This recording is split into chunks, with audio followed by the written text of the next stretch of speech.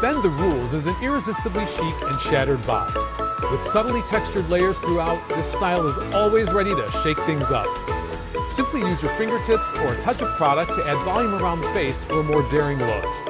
Take a chance and bend the rules.